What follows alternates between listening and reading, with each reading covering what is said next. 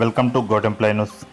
రాష్ట్ర ఖజానా ఒడిదుడుకుల్లో ఉన్నప్పటికీ ఉద్యోగుల వేతనాలు సామాజిక పెన్షన్లు సకాలంలో చెల్లిస్తామని ఆర్థిక శాఖ అధికారులు స్పష్టం చేశారు. ప్రభుత్వ ఉద్యోగులు ఎవరూ ఆందోళన చెందాల్సిన అవసరం లేదన్నారు. ఈసారి కేంద్ర పన్నుల్లో రాష్ట్ర వాటా కొంతమేర తగ్గినప్పటికీ ఆ నిధులు ఇప్పటికే ఖజానాకు చేరాయని చెప్పారు.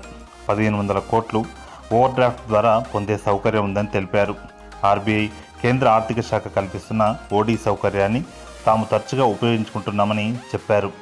ప్రస్తుత ఆర్థిక సంవత్సరం మొదటి త్రైమాసికంలో ఎనిమిది వేల కోట్ల రుణం తీసుకునేందుకు రాష్ట్రానికి అనుమతి ఉంది.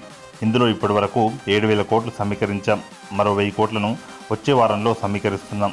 రాబోయే త్రైమాసికానికి పదివేల కోట్లు మార్కెట్ రుణం తీసుకునేందుకు అనుమతి కోరుతూ కేంద్ర ఆర్థిక శాఖకు ప్రతిపాదనలు పంపాం.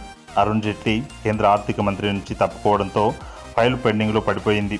కేంద్రంలో కొత్త ఆర్థిక మంత్రి వచ్చాక దానికి ఆమోదం లభిస్తుందని అధికారులు పేర్కొంటున్నారు.